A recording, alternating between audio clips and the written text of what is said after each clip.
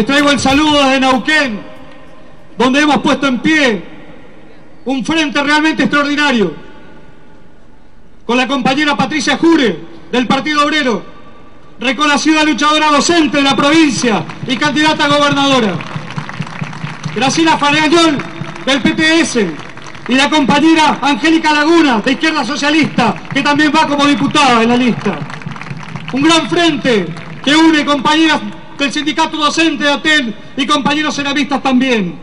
Y hemos logrado, compañeros y compañeras, que esto se debata en las cuatro fábricas ceramistas de Neuquén y que hemos en un plenario abierto los compañeros ceramistas nos hayan propuesto al compañero Alejandro López como compañero independiente y a mí como candidato, como para encabezar la lista de diputados en la provincia, junto al resto de nuestros compañeros de la izquierda. Y hemos acordado un método opuesto al de los partidos patronales.